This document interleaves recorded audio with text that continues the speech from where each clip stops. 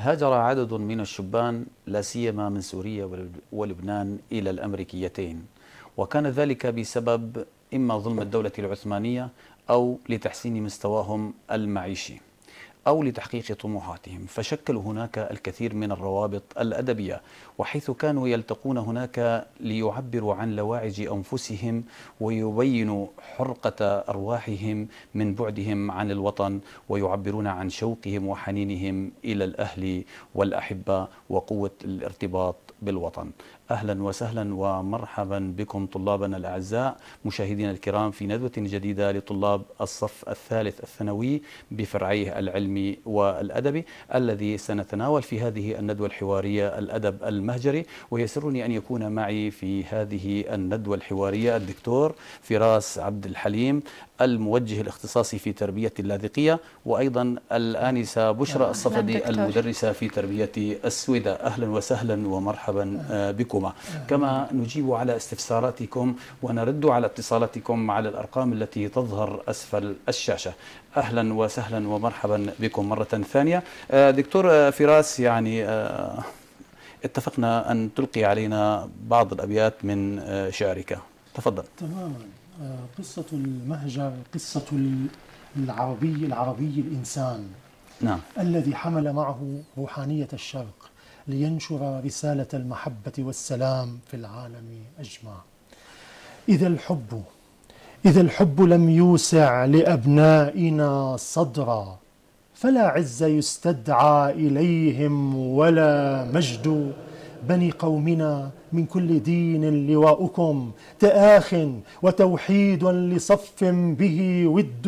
أنا الحر أنا الحر لا أرضى أنا الحر لا أرضى لقومي إهانة. دمائي فدى الأوطان والدم يحتد. رفعنا بروج المجد والعدل لم نخضع وكنا رجالا سيفهم ليس يرتد. أهلا وسهلا. الله يعطيك العافية. شكرا لك دكتور فراس. آه أنسة بشرى يعني نتعرف بداية على محتوى الوحدة لو سمحتي.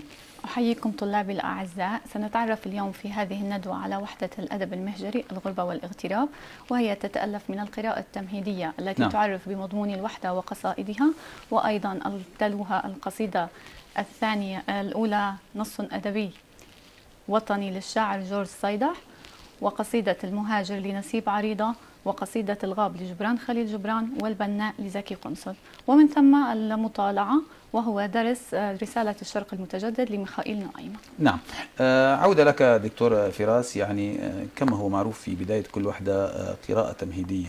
يعني حبذا نضيء على هذه القراءة التمهيدية وما الفائدة المرجوة منها لطالبنا؟ تماما. يعني القراءة القراءة التمهيدية هي مدخل إلى الوحدة. تعرف الطالب بمضمون هذه الوحدة. ليعرف هي الباب الذي يلج من خلاله ليدرك ما تقوم عليه نصوص هذا هذه الوحدة. ومن ثم يمكن أن يفيد منها أيضا في كتابة موضوع التعبير. ما الذي نقوله هنا؟ وما قصة المهجر منذ أواخر القرن التاسع عشر نزح كثير من أبناء الوطن العربي ولا سيما سورية ولبنان إلى المهاجر الأمريكية. نعم. وذلك بحثا عن لقمة العيش أو هربا من جور العثمانيين أو ربما رغبة في المغامرة وإيجاد حياة جديدة. وبين هؤلاء كان أدباء وشعراء أمدوا دوح الأدب العربي بفرع نظير دعي الأدب المهجري. وعلى الرغم من أن هذا الأدب نشأ خارج وطنه إلا أنه كان شديد الالتصاق بوطنه الأم يفوح منه شذا العروبة وروحانية الشرق. ومن أبرز الموضوعات التي تطالعنا في الأدب المهجري الحنين والغربة البؤس والشقاء وكذلك القومية والإنسانية. نعم. وقد برزت فيه مدرستان. الرابطة القلمية في الولايات المتحدة الأمريكية في المهجر الشمالي والعصبة الأندلسية في المهجر الجنوبي وظهرتا في فترة متقاربة في مطلع القرن العشرين نعم. وقد اتصف أدباء المهجر الشمالي بالبعد بالتحرر من كل تأثير للقديم وكان لكتاباتهم أثر كبير في الأدب العربي وفتحوا المجال أمام أقلام المشارقه لتكتب ادبا لا يستعبده التقليد. يعنى بالفكر والمعاني العظيمة ولا يتقيد بالسفاسف. على حين أن على حين أن نتاج أدب آه، العصبة الأندلسية غلب عليه الديباجة العربية غلب عليه الديباجة أو نفثات القومية الحماسية والنزعة العربية الخالصة. وجرى الأدباء فيه على إحياء الديباجة العربية والجزالة اللفظية. واستمد وحيه في الإطار العام من الواقع العربي. كيف لا؟ وقد وجدوا أنفسهم بين أقوام لا يفوقونهم حضارة. فكان ذلك دافعا إلى التباهي بماضيهم المجيد وبأجدادهم ولم يتيسر ذلك في المهجر الشمالي فقد هالتهم الحضارة الأمريكية نعم. لذلك آه، أخذوا رغم إعجابهم بهذه الحضارة ينددون بالقيم المادية ويتباهون بروحانية الشرق السماوية نعم. إذا باختصار يعني القراءة التمهيدية آه، يمكن الإفادة منها أنه أو تعتبر هي البوابة للدخول في الوحدة كاملة. يستطيع الطالب من خلال هذه القراءة التمهيدية آه، أن يتعرف على الوحدة بشكل عام آه، وقد أيضا يعلق في ذهنه بعض الكلمات بعض الجمل بعض العبارات التي يمكن أن يوظفها في كتابة التعبير. إذا هذا ما يمكن أن يستفاد منه الطالب سواء كان في مقدمة الموضوع أو في حشو الموضوع بالإضافة إلى فهمه العام للقصائد. نعم آه، آنسة بشرى يعني نبدأ بالقصيدة الأولى قصيدة وطني للشاعر آه، جورج صيدح آه، ندرسها من حيث البنية الفكرية لو سمحتي. قصيدة وطني للشاعر جورج صيدح نعم. شاعر سوري مهجري. الشاعر نعم. الرحالة الذي حمل عبق دمشق بين جناحيه وطاف به العالم. نعم. ينتمي إلى العصبة الأندلسية من شعراء المهجر الجنوبي. عانى من آلام الغربة ترك خلفه الأهل والأحبة حتى بات ينقسم انقساما صعبا عن ابتعاده عن هذا الوطن الحبيب. حتى أنه بدأ قصيدته مناديا في المقاطع الثلاثة وطني وطني وطني. أراد أن يبين لنا حضور الوطن في وجدانه. تقول قصيدته وطني أين أنا ممن أود أو ما للحظ بعد الجزر مد؟ مارست حيث رست فلك النوى. أين أنا ممن أود؟ نعم, نعم. أو ما للحظ بعد, بعد الجزر مد. مد. نعم. مارست حيث رست فلك النوى؟ لو أباحوا لي في الدفة يد. نعم. غاب خلف البحر عني شاطئ. كل ما أرقني فيه رقد. فيه ربعي فيه جنات جرت تحتها الأنهار والرزق جمد. فيه مر العيش يحلو وأرى في سواه زبدة العيش زبد نعم وأرى في سواه زبدة العيش زبد يكفي نعم. بهذا القدر يعني طبعا أنت بدأت بالقراءة طبعا هذه القراءة يبدأ أي مدرس في صفه بعد أن يمهد للتعريف بالشاعر الدخول في النص يعني مدخل النص ولا يستطيع ومن ثم يقرأ قراءة جهرية صحيحة معبرة نعم. نعم. ولا يستطيع الطالب أن يفهم نعم. القصيدة دون قراءتها مرة تمام. أو مرتين طبعا. وبشرط أن تكون قراءة صحيحة أجل. نعم نعم. يعني هذا ما كنا نتحدث به قبل قليل قراءة الاستماع أنه ما الفائدة من قراءة الاستماع تمام. دكتور فراس نعم. تماما لابد من قراءة الاستماع في المرحلة الأولى لنشد اهتمام الطالب تمام. إلى موضوع الدرس ولا بد أن يعلم أنه بعد هذه القراءة لابد أن يسأل حتى يركز لأن هناك فرقا بين السمع والاستماع تمام. فالاستماع هو فعل مقصود حتى إذا انتهينا من ذلك انتقلنا إلى القراءة الجهرية وكما قلنا إذا كانت القراءة معبرة أيضا شدت الطلاب نحن نشدهم ربما من من نظرة العيون من لهجة الصوت من هذه التلوين الصوتي نعم. تماما. التلوين الصوتي يجذبهم يوحي لهم آه، هناك قراءة ضمن القراءة. هذا ما ينبغي أن ندركه. نعم. تمام. آه نعود لك آنسة بشرى لو سمحتي نكمل. نحلل الأبيات أو نعم. نشرحها. بداية نعم. نشرح المفردات الغريبة. هناك كثير ما تمر معنا مفردات نعم. نعرض الأبيات بالقصيدة. آه مثل الجزر والمد وهو الجزر نقيض المد وهو نعم. حالة آه، جاذبية الأرض للقمر. أيضا لدينا الفلك وهي السفن. آه، أباحوا سمحوا. آه، أيضا مفردات كثيرة تمر بيت معنا. لو سمحتي أنسي بشرى يعني من البيت الأول. وطني أين أنا؟ ممن أود. يعني مثلا كلمة أود بمعنى أحب أو أرغب. أو, نعم. أرغب. أو إيه. ما للحظ بعد الجزر مد. هنا يحدث الشاعر ويتساءل. إلى متى سأبقى هكذا؟ أين أنا من الذي أحبه وأريده؟ ألا يسعفني الحظ في العودة إلى وطني الحبيب؟ نعم وأيضا نستطيع أن نضع الفكرة الفرعية لهذا البيت بتمني العودة ومناجاة الحظ في ذلك يعني ممكن نقول شوق الشاعر شوق في الشاعر في العودة الأبيات كلها تتحدث عن نعم. معاناة حنين الشاعر, وحنينه في العودة إلى الوطن حظه العاثر حظه نعم العاثر في هذه يعني نحن لا نتقيد أحيانا ب ب ب بفكرة معينة يعني ربما البيت يعني ربما يتسع لأكثر من فكرة من هذا تختلف النوع. الفكر نعم. الفرعية نعم ولكن مع الحفاظ على المعنى أن تصب في المعنى. نعم. المطلوب للبيت ما رست حيث رست فلك النوى لو أباحوا لي في الدفة يد. لو كان الأمر بيد الشاعر ما كان آه، جاعلا هذه السفن ترسو في في الغربة. لكان عاد إلى وطنه. وهنا يوضح الغربة القسرية نعم. حيث ترك بلاده عنوة نعم يعني ما توقفت هذه السفينة التي أبعدت الشاعر عن وطنه في المكان الذي الذي يريده. نعم الذي وصل إليه. لو كان الأمر بيده لو, لو كان, كان بيده قيادة هذه السفينة نعم كما قلت إذا الهجرة قسرية لم ترسو السفن حيثما رست الآن. نعم. غاب خلف البحر عني شاطئ كل ما أرقني فيه رقد. غياب البحر شواطئ الوطني عن ناظري الشاعر وهذا ما أرقه. وهنا نستطيع أن نضع الفكرة معاناة الشاعر بابتعاده عن الوطن. يعني أيضا يمكن هنا يعني نتوسع قليلا أنسة بشرى. يعني غاب خلف البحر عني شاطئ يعني الشاعر فارق آه، وطنه. وطن. يعني شاطئ الوطن شواطئ الوطن, الوطن. يعني غادر عن هذه الشواطئ. طبعا هو كما قلنا في في في البداية إنه الهجرة كانت بسبب إما ظلم الدولة العثمانية أو للبحث عن آه، الأرزاق وسبل آه، العيش. نعم. اذا هو ودع أهله وغادر.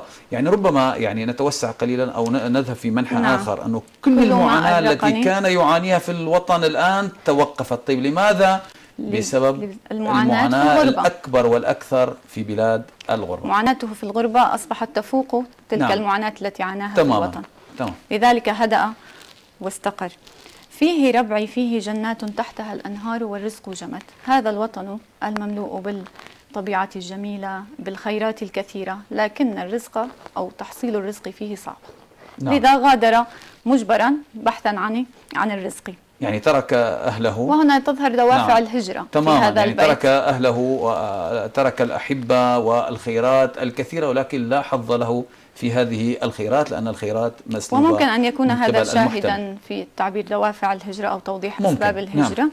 أيضا آه، فيه مر العيش يحلو وأرى في سواه زبدة العيش زبد جمال الغربة ورفاهيتها لا يعوض عن قسوة أو مر الحياة في الوطن. نعم. فالشاعر يفضل مر العيش في وطنه وقساوة العيش وكل ما يعانيه على أن يكون في رفاهية في بلاد الغربة. نعم يعني مرارة العيش في الوطن أطيب أو قسوة خير الحياة من في نعيم. خير من نعيم. الغربة لأن نعيم نعم. الغربة هو عبارة عن زبد يعني لا قيمة له. يعني نعم. لا طعم للحياة بعيدا عن الوطن. تماما. أي متعة خارج الوطن متعة زائفة مؤقتة أشبه هي أشبه بتلك الفقاعات التي سرعان ما تتلاشى. تماما. نعم. نستطيع أن نضع الفكرة الرئيسة لهذا المقطع مأساة الشاعر في ابتعاده عن وطنه والتوق للعودة نعم. وأيضا مثل ما ذكرنا سابقا قد تختلف الفكر الرئيسة لكن تحافظ على المضمون العام للأبيات تماما. في مقطعه الثاني وطني ما زلت أدعوك أبي وجراح اليتم في قلب الولد. نعم. هنا نلاحظ ابتعاد الشاعر عن وطنه كحالة من اليتم وهذا إن دل يدل على تعلق الشاعر الكبير بوطنه. وهنا نستطيع أن نضع فكرة الشعور باليتم من فراق الوطن. نعم ممكن يعني هنا عندما يقول وطني ما زلت أدعوك أبي يعني هنا يدل على شدة التعلق والانتماء بهذا الوطن كتعلق الولد بأبيه وعند غياب يصبح يتيما, يتيما. نعم إذا هنا بعده عن وطنه أصبح يتيما فلذلك هذا يدل على شدة التعلق والانتماء إلى الوطن. يعني اليوم إذا أردت أن أنتس أن أنتسب وأن أتفاخر أنتسب إلى أبي نعم. ابن فلان. نعم. فالشاعر هنا ينتسب إلى الوطن. تماما. يعده بمنزلة الأب. هذا هو الانتماء. أنت ابن من أيها الفتى؟ أنا ابن فلان. نعم. أنا أنتمي إلى فلان. وهنا ما زلت أدعوك أبي يتخيله نعم. أو يشخصه في صورة الأب دليلا تمام. على التعلق والانتماء والمحبة. نعم. تفضل يا بشرى. رأيت البين لولا شدة وجدتني ساعة البين أشد. بابتعاده عن وطنه عانى الأمرين رغم مرارة العيش فيه والشدة تحمل القسوة ليغادر هذا الوطن. نعم. يعني دعيني أقف فقط أنا أؤكد على البين. ما تقولينه نعم. آنسة بشرى. يعني عندما يقول ما رضيت البين لولا شدة. ومعنى البين البعد؟ الشدة هي ضيق العيش الظروف نعم. الحياة القاسية في الوطن. ما رضيت البين؟ أنا يعني ما رضيت أن أبتعد عن وطني وأفارق هذا الوطن لولا ظروف الحياة الصعبة. هي التي أجبرتني على ذلك. وجدتني ساعة البين وجدتني متماسك صابر على ذلك. نعم. يعني على مبدأ آه الظرف الصعب أجبرني, أجبرني على, على مغادرة البلد أصعب. يعني ما الذي أجبرك على المر الأمر منه؟ أصعب نعم. تماما. نعم تفضل. فتجشمت العنا نحو المنى وتقاضاني الغنى عمرا نفد نعم. لقد تعبت العنا وهنا التعب لقد تعبت كثيرا في سعيي لتحقيق أمنياتي خارج وطني مهاجرا رغم أنه أمام جاهل الغربة وعانى في تحصيل رزقه فنفذ عمره بحثا عن الرزق والغنى والثراء ولم يحقق نعم. ذلك. إذا نفذ عمره دون أن يحقق آه مطالبه, مطالبه يعني فتجشمت العناء أي كلفت نفسي فوق طاقتها تماما. إيه يعني وعانيت الكثير من أجل تحقيق الأمنيات لكن العمر انتهى وخلص دون أن أصل صور مظاهر المعاناة في يعني هذه يصور الدوافع الكامنة أسباب الهجرة, الهجرة. التي يعني يسعى وراء أمنيته نعم. من أجل تحقيقها نعم هل درى الدهر الذي فرقنا أنه فرق روحا عن جسد؟ نعم. هل يعلم هذا الدهر فعلته التي قام بها عندما غادرت بلدي تاركا هذا الوطن وما زال ماثلا في وجداني وقلبي يعني يعتبر أن الوطن بمثابة الروح وبعده عن هذا الوطن أنه كفقده قد نعم الروح كحاله. نعم. جميل جدا وتخيلوا يعني قد يستطيع المرء أن يعيش بعيدا عن أبيه لكن هل يستطيع الجسد أن يستمر بلا روح؟ نعم. هنا النقطة هنا نعم. النقطة المهمة. انفصاله كانفصال الشاعر عن وطنه كالموت أو كفراق الروح للجسد. أيضا يعبر عن قوة الانتماء قوة انتماء وارتباط بالوطن. يعني يتشابه تتشابه فكرة هذا البيت مع البيت السادس وطني. ما زلت أدعوك أبي. إذا قوة انتماء قوة ارتباط نستطيع أن نضع بالوطن. الفكرة الرئيسة نعم. للمقطع الثاني. أثار الغربة في نفس الشاعر عمق الانتماء والتعلق الشديد تمام. بالوطن. تمام. نراه في المقطع الثالث يعيد ويكرر وطني. وطني حتى ما ترتد الصبا دون أن تحمل من سلمى يرد. قسما لولا أنيني ما اهتدى لسريري طيفها لما وفد.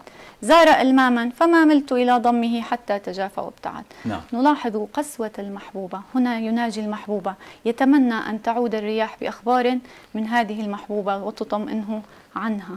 لكن أناته وعذابه الشديد جذب طيف المحبوبة ولكن أيضا طيف المحبوبة كان يجافيه ما من ما أن اقترب منه حتى أراد أن يضمه ويحتضنه ويستعيد أجمل ذكرياته حتى فر هاربا منه نعم دعيني أعقب على ذلك تفضل. يعني آه وطني حتى ما ترتد الصبا إذا الصبا هي الرياح القادمة, القادمة من, من الشرق. الشرق من ال ال الوطن نعم. يعني هو في حالة انتظار معاناة ينتظر أخبار المحبوبة. نعم.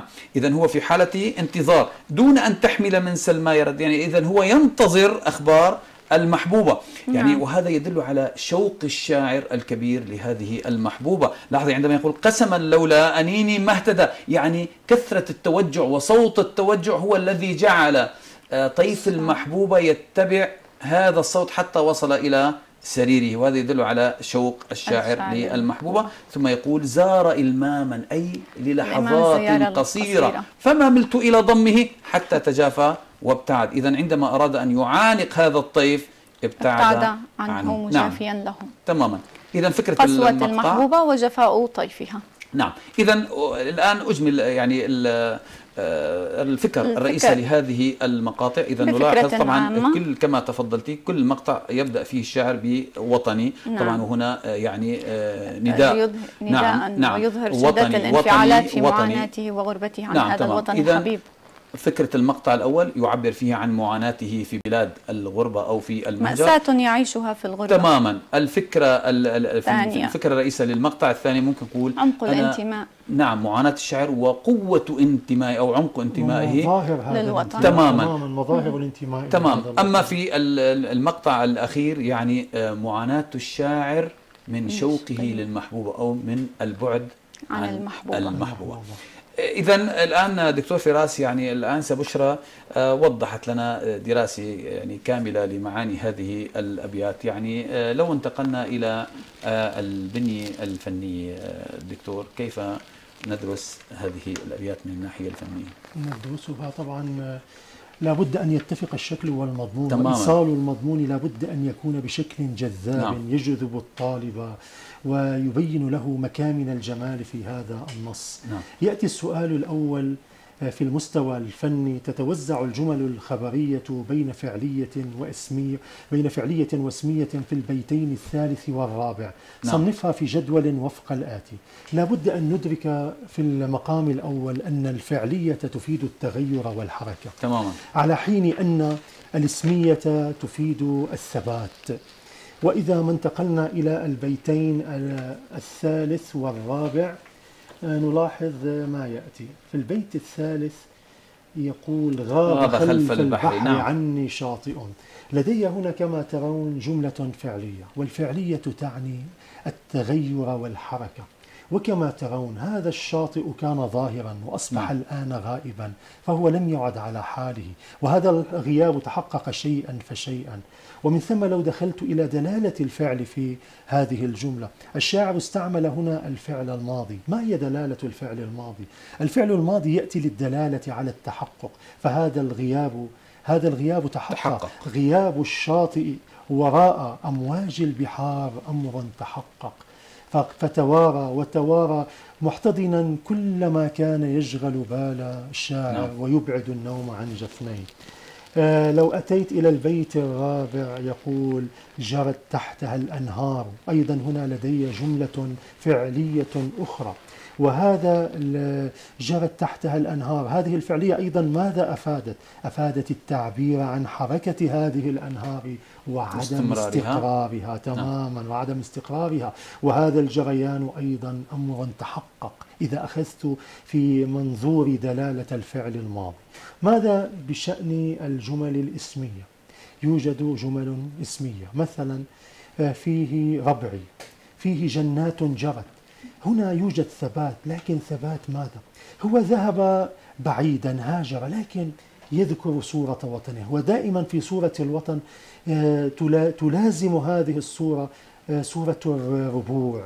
سورة الأهل سورة الجنان الأنهار الرياض إذا ثبات ملازمة الربع والجنان لصورة ثبات ملازمة الربع والجنان لصورة الوطن في ذهن الشاعر. عندما يسأل الشاعر ما هو وطنك يقول كذا وكذا وكذا. فهذه هي الملامح الثابتة في ذهنه. إذا ثبات ارتباط الربع والجنان بصورة الوطن في ذهن الشاعر. نعم. هذا بالنسبة للسؤال يعني فقط أنا أذكر دكتور فراس أنه دلالة الجملة الفعلية والاسمية أو كما قلنا أنه الفعل الماضي يدل على التحقق. تمام. الفعل المضارع يدل على الاستمرار فعل الأمر يدل على الحث أو على الطلب الجملة تمام. الاسمية أو الاسم يدل على آه، الثبات. تماما. نعم. يعني الفعلية إذا أردتها بالمجمل التغير والحركة. التغير نعم. إذا فصلت في الأفعال ندخل في الماضي والمضارع والأمر. نعم. وكذلك إذا لجأت إلى الاسمية فالاسمية تفيد معنى الثبات والديمومة كما نعم. تفضلت حضرتك نعم. آه إذا انتقلنا الآن إلى السؤال الثاني استخرج من المقاطع السابقة ثلاثة أساليب إنشائية ثلاثة استخرج من المقاطع السابقة ثلاثة أساليب إنشائية متنوعة ثم بين خدمتها للتعبير عن المناخ الانفعالي الأكثر حضورا في النص كله. آه دكتور فراس عفوا المقاطعة يعني دعني فقط أذكر بالأسلوب الإنشائي والأسلوب الخبري. تمام. الأسلوب الإنشائي أمر نهي استفهام تمني نداء. الأسلوب الخبري طبعا جملة تحتمل التصديق أو التكذيب. تمام. ولدينا الابتدائي والطلبي فيه مؤكد واحد تمام. والإنكار فيه أكثر من مؤكد. تفضل. تماما آه، كما تفضلت الأسلوب الإنشائي اذا الإنشاء الطلبي لدينا الأمر النهي الاستفهام النداء التمني ويوجد أيضا إنشاء غير طلبي يتمثل نعم. في المدح والذم والتعجب تمام. والقسم والترجي لو أتينا إلى البيت الأول يقول وطن نلاحظ هنا أن أنه استعمل انشاء طلبيا بصيغة النداء وإلى ما خرج هذا النداء تخيل الشاعر يقف في موقع آخر من هذا العالم ويخاطب آه، هذا الوطن. يحاول أن يقرب المسافات بينهما. إذا كان قد غاب عن نظره فهو لم يغب عن قلبه. لذلك تجد النداء هنا قد خرج إلى معنى التودد أو التحبب أو التقرب. يعود فيقول أين أنا ممن أود؟ انتبه إلى آه، أنه آه، يعني أخذ يعقب إنشاء بإنشاء آخر. طبعا هذا يدل على شدة الانفعال. انتقل من نداء إلى الاستفهام. تماما. إنشاء أيضا هو الآن إنشاء طلبي وصيغته الاستفهام لكن ماذا أفاد؟ آه، أين أنا ممن أود؟ وكأنه يستنكر وكأنه يعبر عن حيرته أين أنا ممن أود؟ ربما رأيته يعبر عن المعاناة عن الحسرة عن الندم. كل ذلك يمكن أن أقرأه في هذا في هذه الجملة أو في هذا التركيب. أو ما للحظ بعد الجزر مد. آه، أيضا استفهام آخر وكأنه يعبر عن شيء من أو ما للحظ وكأنه يعني يستنكر يعبر عن استنكار حظه أو آه، يعني يعبر عن التطلع إلى تغير هذا الحظ. لديه يأمل في أن يتغير هذا الحظ. آه، يتابع الشاعر فيقول في البيت قبل أن ننتقل دكتور فراس يعني الآن توالت أساليب إنشائية. تمام. يعني الآن حضرتك بينت دلالة كل نوع من هذه الأنواع ولكن عندما يكثر الشاعر من الأساليب الإنشائية إلى ماذا يشير ذلك؟ دلالة الانفعال الانفعال الذي يسكنه. جيشان العواطف جيشان نعم. ليس في وضع نفسيا مستقر. تماما. حالة عدم الاستقرار تمام. عدنا إليها. لذلك هنا الشكل كما قلنا يعني يتضافر مع المضمون الإظهاري هذه الحالة. إذا هو في حالة عدم استقرار يعني حتى من, من المعنى وطني. أين أنا ممن أود؟ أو ما للحظ بعد الجزر مد؟ يعني من خلال القراءة تلاحظ أن هناك في احتدام بالمشاعر. تماما تماما. آه يتابع فيقول هل درى الدهر الذي نعم. فرقنا؟ أنه فرق روحا عن جسد. تجد أنه هنا أيضا يعبر عن الاستنكار. حتى ما ترتد الصبا دون نعم. أن تحمل من سلما يرد حتى ما ترتد الصبا هنا يشعر يشعرنا آه بالحنين. يعبر أيضا عن خيبة الأمل. حتى نعم. ما ترتد الصبا دون أن تحمل من سلما يرد في البيت الحادي عشر يدخل في نوع آخر من الإنشاء هو الإنشاء غير الطلبي نعم. من خلال صيغة القسم نعم. وهو يقسم هنا والقسم على أن هذا الخيال خيال المحبوب أو طيف خيال المحبوبة ما كان ليهتدي إلى مرقده لولا ما يصدر عنه من توجع وألم نلاحظ أن هذا القسم أفاد في التعبير عن معاناته ولو أتينا إلى يعني بمعنى المناخ الأكثر حضورا لوجدناه يتمحور حول هذه المعاناة في غربته بعيدا عن الوطن. نعم. آه لو سألنا أنفسنا أو لو انتقلنا إلى السؤال الثالث السؤال الثالث في المستوى الفني آه يقول ما الضمير الذي أكثر الشاعر من استعماله في النص وما علاقة ذلك بالنص؟ نعود إلى النص فنلاحظ أنه استعمل ضمير ضميرا بشكل أكثر من غيره. عندما بدأ بوطني هنا الوطن نسبه إلى نفسه. أين أنا؟ أود. آه، أباح لي لي. آه، ارقني آه، نعم. أرى. وأرى في سواه. ما أدعوك أبي؟ رضيت ما رضيت؟ وجدتني. نلاحظ كثرة استعماله لضمير المتكلم طيب ما علاقة ذلك بالنص؟ دائما ضمير المتكلم يعبر عن الذاتية عن التفرد. ولربما كان هنا له دور كبير في التعبير عن المعاناة في التجربة الشعورية. سأقاطعك عذرا لدينا اتصال محمود اللاذقية تفضل يا محمود. ألو؟ هل أنت معنا محمود؟ يبدو أن الخط قد انقطع. نعم نكمل إذا تماما. هو إذا استع... هو أكثر من استعمال ضمير المتكلم. لما؟ لأنه أدل على الذاتية وعلى عمق المعاناة في التجربة الشعورية. ونحن نقف هنا أمام معاناة.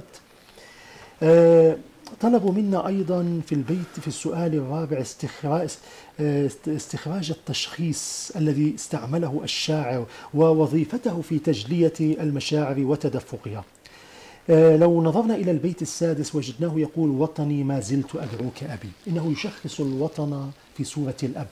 نعم. وطبعا هذا له دوره في التعبير عن الانتماء والتعلق. فالمرء محب لأبيه وإذا أراد أن يتباهى يقول أنا ابن فلان. فهنا الشاعر إذا يعلن انتماءه إلى هذا الأب. يعلن تعلقه تود محبته إخلاصه محبته. آه نأتي بعد ذلك إلى السؤال الخامس. أكثر الشاعر من استعمال الطباق.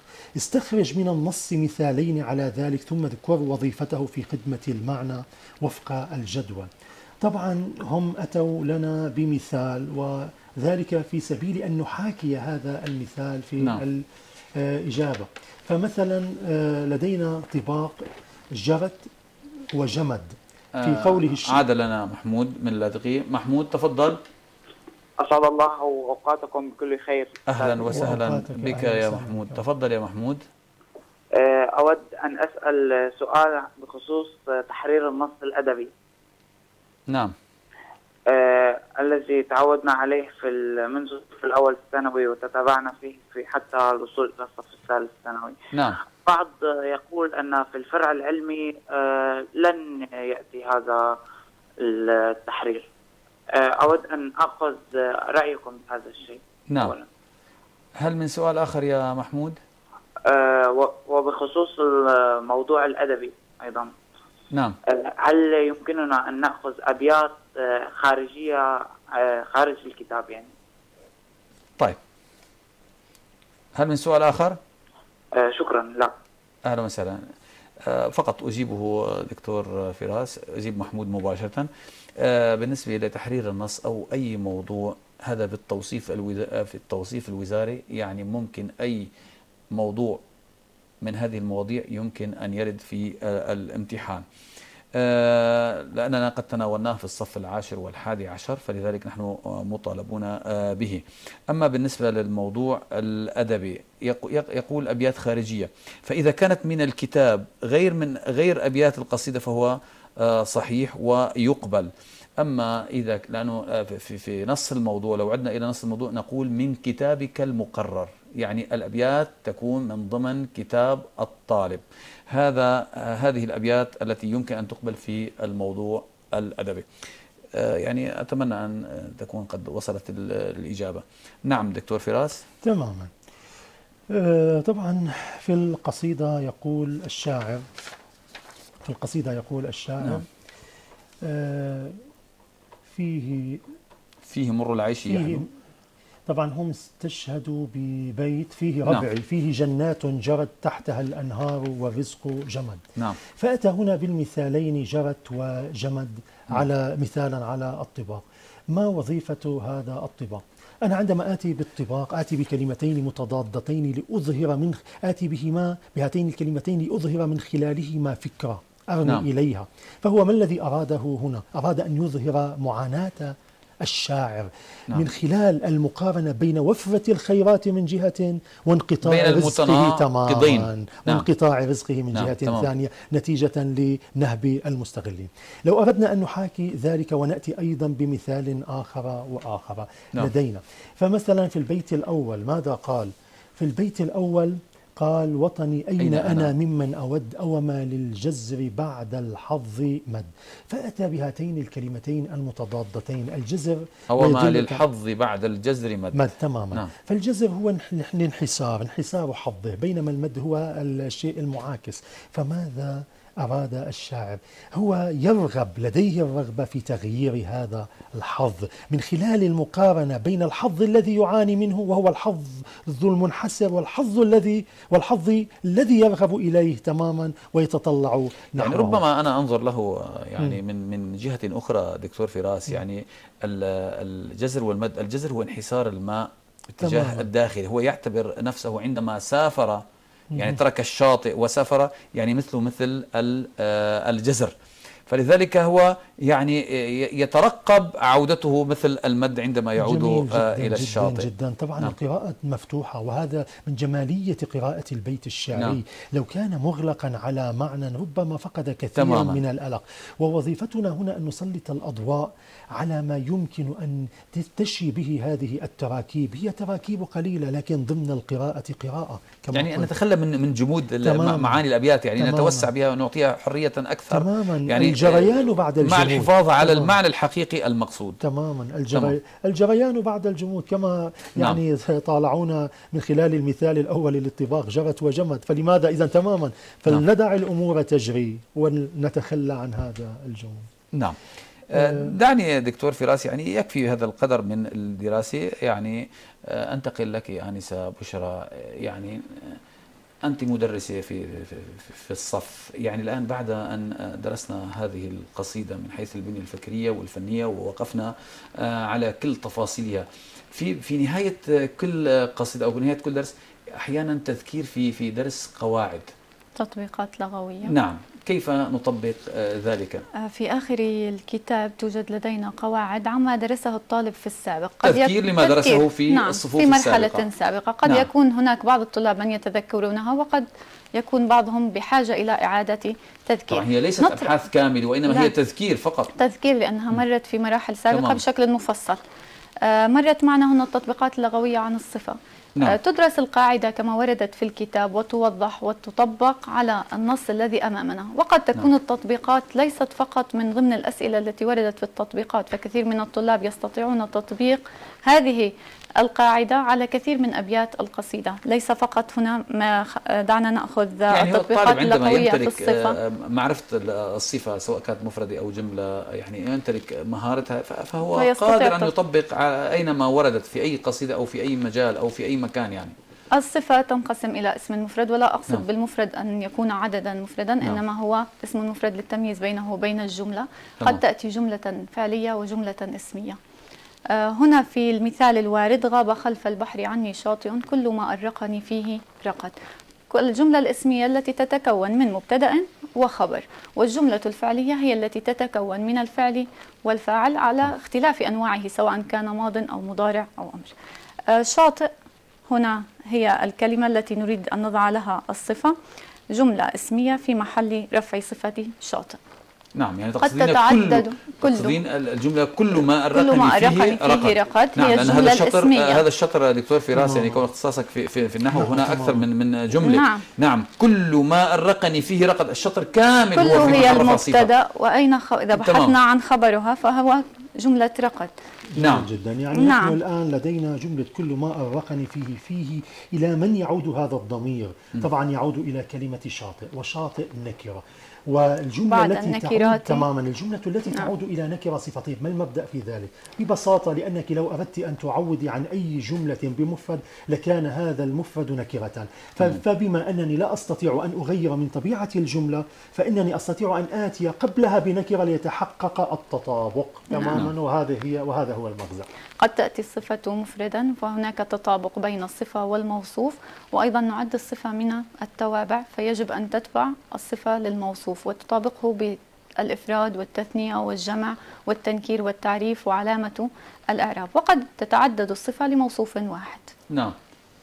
إذا ال- ال- الصفة تطابق الموصوف بالإفراد والتذكير والتثنية التثنية والجمع أو التعريف, التعريف والتنكير والتذكير أو التأنيث والتذكير والعلامة الإعرابية. وأستطيع أن أختصر أن أقول تطابق في التعريف أو التنكير. نعم. وفي آه، التعريف وت- وفي الجنس أي التذكير والتأنيث. أو التأنيث تماما نعم. التذكير أو التأنيث. وفي العدد أي في الإفراد أو التثنية أو الجمع وفي والعلامة الإعراب- الإعرابية. وفي الإعراب. طبعا أنا هنا لي تحفظ على هذا المصطلح. أفضل أن أقول في الإعراب في الحالة العامة فإذا كان هناك تطابق في العلامة قلت ذكرت ذلك. وإلا يبقى مثلا التطابق في الرفع أو النص النصب أو إلى آخره هو الأسلم.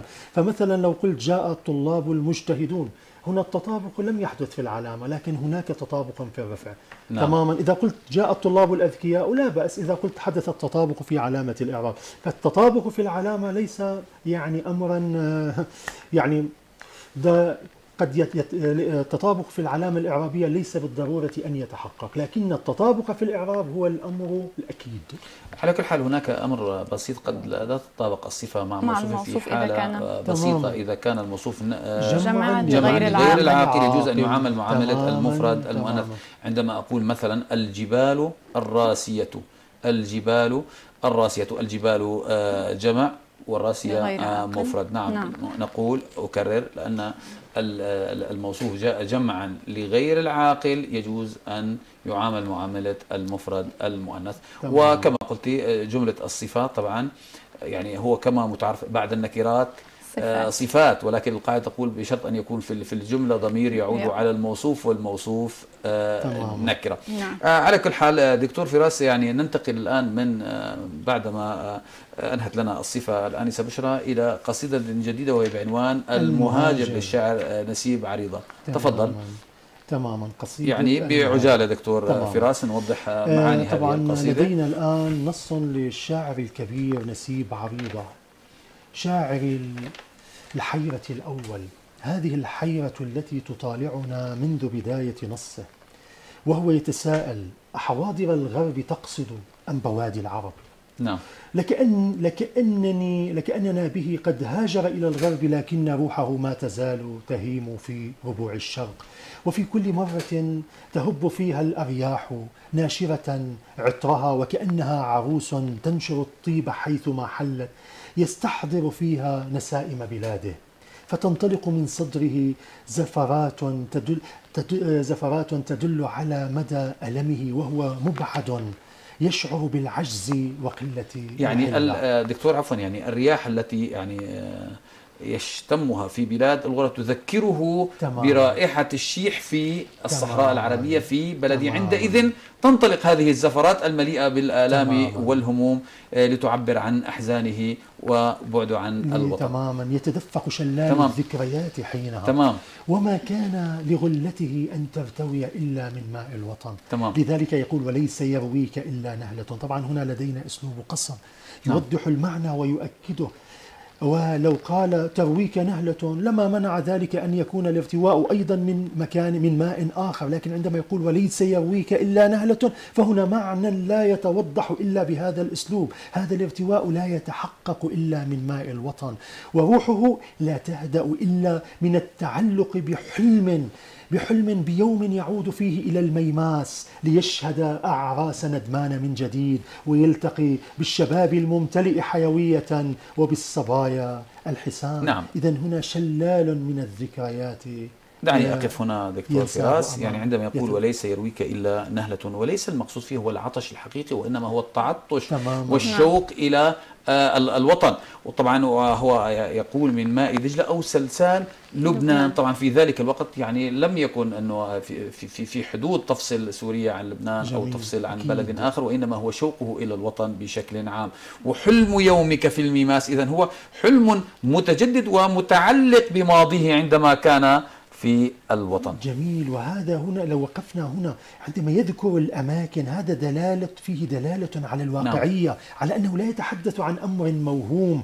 هو هنا أيضا يستشهد بأمثلة يراد منها الأصالة. فعندما ذكر بيد قحطان هل هو في الحقيقة يعيش في الصحراء؟ لا لكن الصحراء رمز لأصالتنا لانتمائنا. وكذلك نعم. تماما عندما سيذكر بعد قليل الكثبان وغي وغيرها. نعم. تماما. نعم. أكمل. تفضل. آه، من أنت ما أنت. وكأنه يعني اشتقت من نفسه نفس من نفسه نفس أخرى يتحاور وإياها. فمن يكون وقد انقسمت وقد توزعت روحه بين ماض جميل عاشه في الوطن وتحول إلى ذكريات وبين حاضر آه، قريب ينهك جسده في الغربة. يندفع صوت من داخله يقول أنا المغرب الذي ابتعد عن وطنه وقد انقسمت روحي شطرين. فواحدة تلازمني في مسيري وأخرى مسكونة بحب الوطن لا تبارحه. لو أتينا إلى هذا البيت لوجدناه ربما بيت القصيد. إنه يخبر عن نفسه. النفس الأولى يخبر عنها لو انتبهنا بجملة فعلية فيقول تسير سيري طيب ما دلاله الجملة الفعلية. نعود إليها نعم. دلالة الجملة الفعلية التغير وعدم الثبات وعدم الثبات وعدم الاستقرار وهذا حقيقة واقعه هناك هناك لا يعيش حالة استقرار ومن ثم يستعمل فيها الفعل المضارع لما؟ ليدل على الاستمرار في السير عندما نأتي إلى النفس الأخرى نجده قد أوردها في سياق في جملة اسمية لما؟ ليدل على الثبات ثبات على ثبات نفسه الأخرى في الوطن. وعندما خبر عن النفس الأخرى لم يستعمل المشتق استعمل المصدر قال أخرى رهن أوطاني لم يقل أخرى مرهونة بأوطاني. لماذا؟ أنا عندما آتي لأصف قاضيا أقول قاض هو قاض عدل. أفضل من أن أقول قاض عادل. عندما اتعاملوا مع المصدر استذكروا أن المصدر هو أصل للأفعال والمشتقات. فهو إذا يريد دلالة الأصل يريد تأصل نفسه الأخرى في الوطن. طيب هنا نحن نسأل ما دام الأمر كذلك لماذا ابتعدت عن الوطن؟ وكأنه يدري بما يجول في نفوسنا في أذهاننا فيقول بعدت أضرب في أصقاع الأرض سعيا وراء هدف. هذا الهدف آه، عقدت له العزم وشددت الرحال والآن يأتي لي صورة خلاصة نهائية يظهر من خلالها نتيجة ترتبت على سبب فيقول ما إن أبالي مقامي في مغاربها وفي مشارقها حبي وإيماني إذا هو محب للشرق مؤمن بمبادئه. هذا يجعله واثقا من أنه لن يذوب في مجتمع الغربة. هذا هذا الأمر يجعله لا يكترث بإقامته في بلاد الغربة. وفي رأيي الأصيل يبقى أصيلا أينما ذهب في داخل الوطن. كان أم في خارجه. نعم. دعني أعقب فقط وننهي يعني داهمنا الوقت وانتهى وقتنا. يعني هنا الشاعر في هذا المقطع عندما يقول من أنت ما أنت؟ من للعاقل وما لغير العاقل؟ يعني جميل. مرة يكون عاقلا ومرة يعني يفقد عقله وروحه المشتتة. لاحظ من خلال الانطلاق من الأسلوب الإنشائي الذي يدل على الغليان والجيشان المشاعر شوف يقول أنا المهاجر أنا المهاجر. انتقال من حالة إلى حالة وكما قلت هو يعني آه، سبب الهجرة هو أو الدوافع الكامنة وراء الهجرة هو البحث عن أو الوصول إلى آه، أهدافه. وأيضا عندما يقول ما إن أبالي مقامي في مشارقها وفي آه، مغاربها وفي مشارقها حبي وأمان. إذن هو التعلق بقيم وطنه الروحية. لا يسعني في نهاية هذه الندوة إلا أن أشكر زميلي الدكتور فراس عبد الحليم الموجه الاختصاصي في تربية اللاذقية والآنسة بشرى الصفدي المدرسة في تربية السويداء مع الشكر الجزيل لكل آه، من آه، ساعد في إعداد هذه الندوة الحوارية. وعلى أمل اللقاء بكم في ندوة جديدة والسلام عليكم ورحمة الله وبركاته.